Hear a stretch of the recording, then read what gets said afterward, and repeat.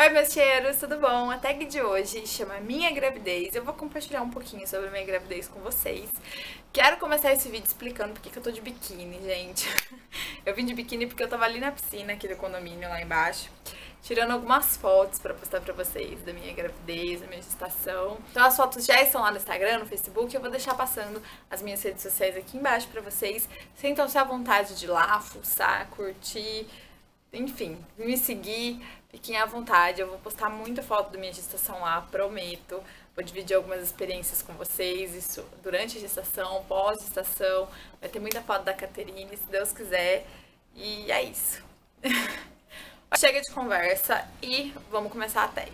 Então a tag tem 10 perguntinhas e a primeira pergunta é: É ou foi sua primeira gravidez? É a minha primeira gravidez. Eu queria ter engravidado mais nova. Muita gente perguntou quantos anos eu tenho, gente.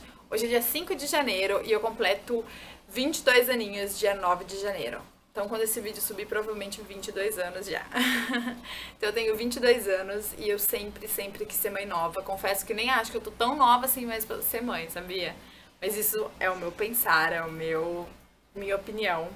Então, é meu primeiro filho, minha primeira filha, pra ser mais específica, né? Pois, como foi que você descobriu que estava grávida? Gente, viagem para Monte Verde. E era pra ter descido nesse final de semana de Monte Verde. E não veio a minha menstruação. Tem até um vídeo aqui no canal que eu gravei um vlog lá, vou deixar aqui nos cards pra vocês. E. E aí não veio minha menstruação, mas até aí tudo bem, minha menstruação sempre foi desregulada. Mas eu comecei a sentir muita dor do meu lado esquerdo. Eu tenho um tumor no lado esquerdo, então eu fiquei preocupada de que fosse por conta desse tumor. Então, como meu médico, sempre que eu chego lá, a primeira coisa que ele pergunta, ah, veio pra você? Não. Ah, então vai fazer exame. Eu resolvi adiantar. Falei pro Marlon, vai lá na farmácia, busca um exame de farmácia, eu vou fazer, vai dar negativo. Eu já ligo pro médico e falo, ó, já fiz exame de sangue, é, já fiz exame de farmácia, deu negativo, não estou grávida, não nasceu minha menstruação e eu tô sentindo muita dor. Era uma dor muito chata, muito chata do lado esquerdo, de verdade. E aí eu peguei e fiz e deu positivo. E aí fiquei passada, porque eu realmente não esperava. Eu queria muito, fiquei muito feliz, óbvio. Mas eu não acreditava, porque eu não esperava, de verdade. Não esperava. Três, como foi que você contou pro seu parceiro? Bom, a gente, quando antes de estar tá grávida, e mesmo quando descobre, a gente quer contar de um monte de jeito diferente, fazer um monte de surpresa e tal. Mas o desespero de contar é tão grande, compartilhar é uma alegria tão, tão grande, tão, tão maravilhosa que a gente só quer compartilhar, né, com todo mundo. Então eu queria contar de vários jeitos pro Marlon, mas o que eu achei que seria mais rápido que eu conseguiria contar no dia foi escrever uma carta à mão, dando por uma ex dele. Então, tipo assim, eu escrevi como se fosse uma ex mesmo dele, mas a carta ela tinha duplo sentido, podia ser tanto de uma ex para ele, como de um filho, uma filha pro pai. Como ele não imaginava que eu tava grávida, nem sonhava que eu tava grávida, é, e eu fiz todo um. fiz todo um teatro, que era coisa de, da ex dele, né? De uma ex dele. E, e, e, ele achou que realmente fosse. Então ele ficou tipo, meu Deus, não, amor, mas eu juro, não tem nada, não aconteceu nada. E tipo, eu sabia e eu queria segurar o choro. E ele começou a ler e no meio da carta tava lá falando mamãe, papai, e aí caiu a ficha dele. E aí o bebê contava da chegada dele na nossa vida, na nossa família. E foi assim, gente. Foi bonito, viu? Olha, não me arrependo do jeito que eu contei pro Marlon, não. Eu gostei. 4. Como foi que você se sentiu quando descobriu que estava grávida? Já é um milhão de sentimentos, sério. Quando você descobre que você está grávida, você descobre que existem sentimentos que você jamais imaginava que existiria. Você sente pavor, você sente medo, você sente angústia, você sente alegria.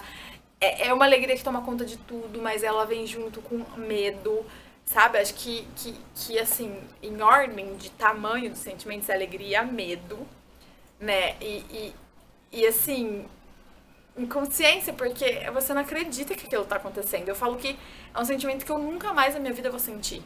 E o medo, a gente tem medo, porque, querendo ou não, é uma criança que a gente tá trazendo ao mundo e que vai ser completamente dependente da gente. O Marlon é pai, ele vai ser dependente dele também. Mas nós, mães, somos a vida daquela criança nos primeiros meses, né? No primeiro ano de vida, principalmente. Porque eles dependem da gente para tudo, para tomar banho, para mamar, para se limpar, para viver, né? Eles só respiram por eles, mas o resto tudo depende da gente. Então, dá um medo. E tudo que é novo dá medo pro ser humano. Mas eu tô muito feliz, gente. Foi uma felicidade, assim, um sentimento que, juro, acho que mesmo que engravide de novo, eu não vou passar por esse sentimento, porque aí eu já vou ter filho, já vou saber algumas coisas.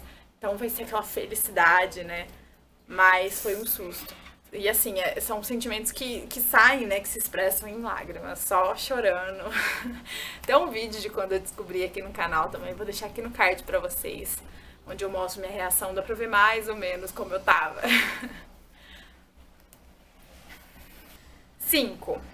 Quando você comprou a primeira roupinha do bebê? Gente, eu não tive a oportunidade de comprar roupa pra minha filha ainda de verdade, porque é a primeira neta, a primeira bisneta, a primeira sobrinha, a primeira prima, a primeira filha, é a primeira tudo.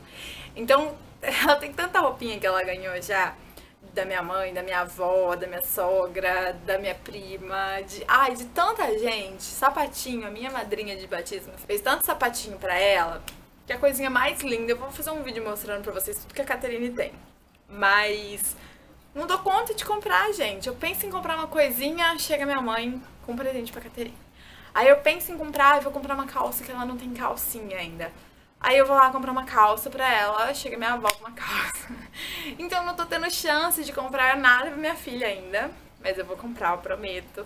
É que por enquanto, assim, eu tô no quinto mês de gestação, mas eu já comprei pra ela.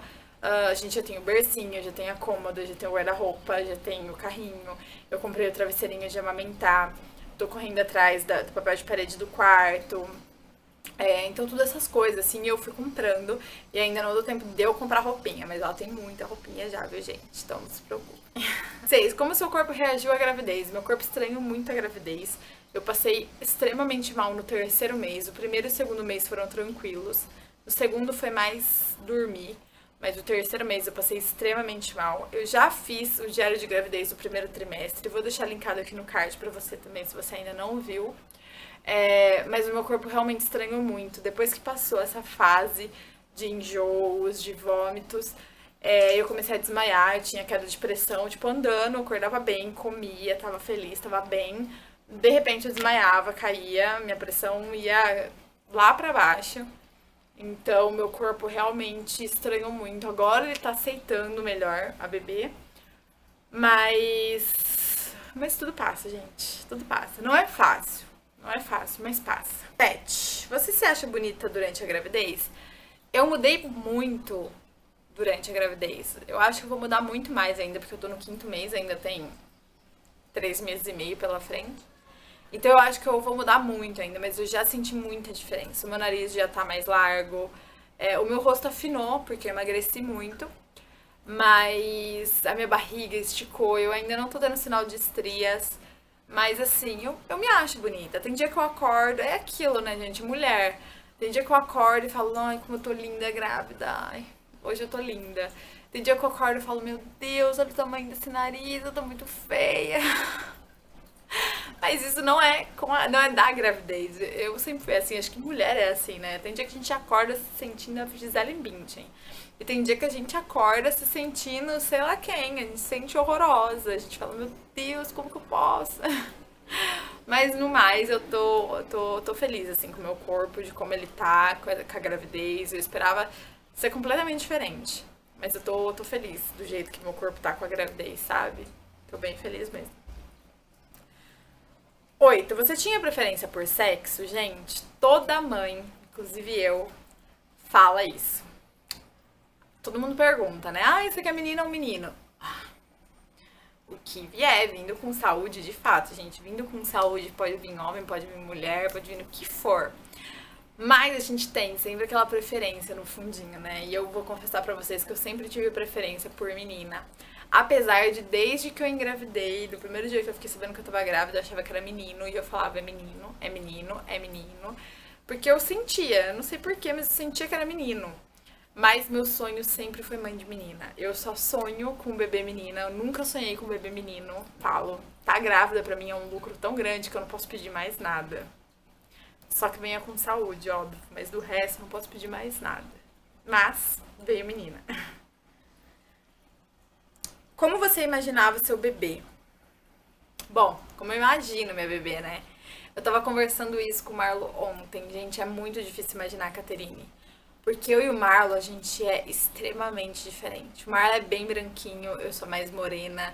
O Marlo, a pele dele é mais puxada pro rosado, a minha pele é mais puxada pro amarelado. O Marlo tem olho claro, meu olho é escuro. Meu olho é amendoado, do Marlo é redondo. Meu nariz é diferente do Marlo, meu nariz é mais abertinho, do Marlo é mais fino. A boca do Marlo é fina em cima e fina embaixo. A minha é fina em cima e um pouquinho mais grossa embaixo. Minha orelha dele é diferente, o formato de rosto meu dele é diferente. Eu nasci extremamente cabeluda, o Marlo nasceu quase que sem cabelo, bem loirinho e eu bem pretinha, bem moreninha. Então eu não consigo imaginar como vai ser a Caterine, juro, eu não consigo. Eu acho que ela vai vir de olho claro, por ele ter olho claro e a minha mãe ter olho claro, eu acho que ela vai vir de olho claro. É, acho que ela vai ser branquinha, porque como eu não sou uma morena muito escura e o Marla é bem branquinho, né? Acho que se ela vier morena, vai ser mais morena assim, do meu tom pra baixo. Acho. Acho que o cabelo dela eu não consigo nem imaginar. nem imaginar se vai ser escuro, se vai ser loira. Eu acho que vai ser escuro, porque tanto meu e do Marlo é escuro.